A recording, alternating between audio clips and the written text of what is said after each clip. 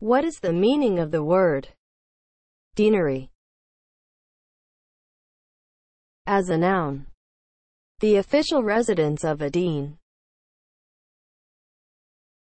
Deanery is spelled D E A N E R Y. Deanery